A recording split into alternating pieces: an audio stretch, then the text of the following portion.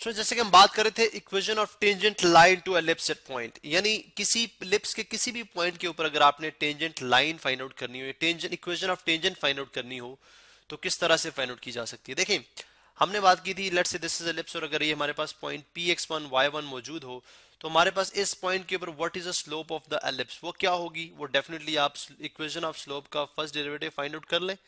आप आपके पास इस पर्टिकुलर पॉइंट के ऊपर स्लोप ऑफ़ टेंजेंट आ जाएगा, यानी स्लोप ऑफ़ टेंजेंट लाइन आ जाएगी, ठीक है?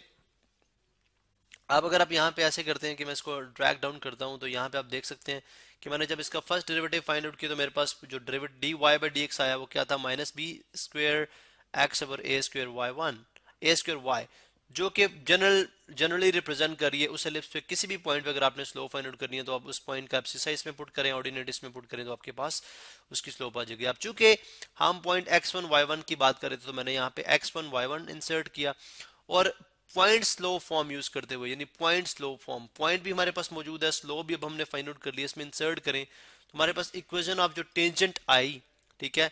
Equation of tangent at that point यानी उस पॉइंट के ऊपर इक्वेशन ऑफ़ टेंजेंट जो आई वो क्या आती X X one over A square plus Y Y one over B square is equal to one अब हम क्या करते हैं कि इसी आ, के ऊपर एक पर्टिकुलर एक क्वेश्चन सॉल्व करते हैं यानी किसको किस तरह से इसको अप्लाई किया जा सकता है उस पर हम बात करते हैं ठीक है?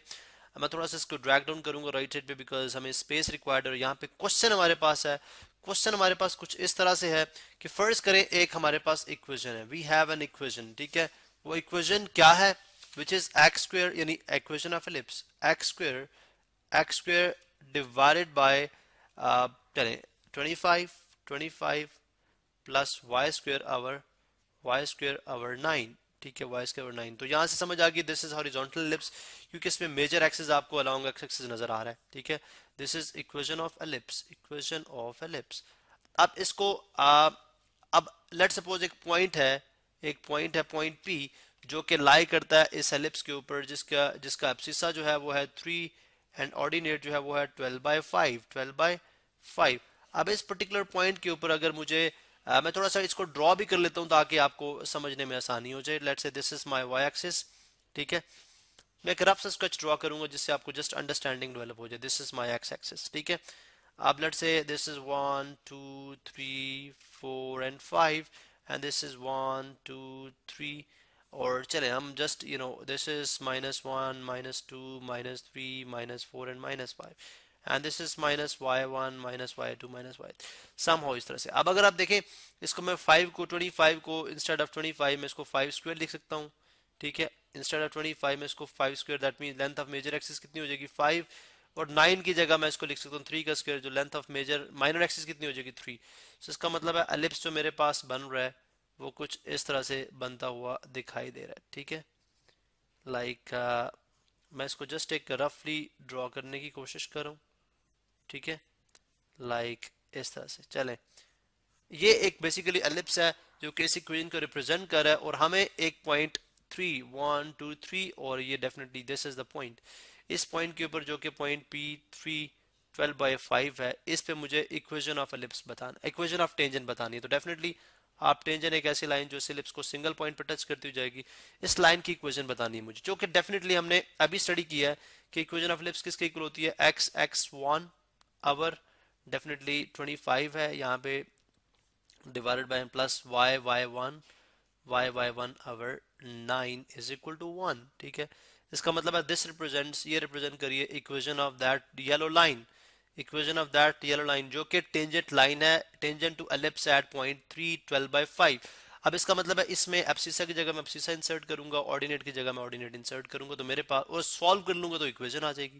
That means X times three X times three divided by twenty five plus Y times Y times twelve by five divided by nine is equal to one is equal to one अब मुझे सिर्फ़ इसको simplify करना है और मेरे मेरे पास यही इक्वेशन होगी। तो कैसे सिंप्लीफाई किया जा सकता है? Three X by twenty five three X by twenty five plus ये बन जाएगा ट्वेल्व वाई अब फाइव डिवाइड हो रहा जाके तो नीचे ऑलरेडी नाइन है तो nine time five is forty five is equal to one अब इसको सिंप्लीफाई कर लें तो simplification twelve four are three four are twelve और three fifteen are forty five ठीक है तो ये मेरे पास बन रही है इक्वेशन जो बनती हुई दिखाई दे रही है। ये जी three X by twenty five three X by twenty five plus four Y four Y fifteen अब अगर इनके डिनोमिनेटर इक्वल करने तो एलसीएम इनका 25 और 15 का कहाँ पे कॉमन मल्टीपल इनका कहाँ पे आ रहा है?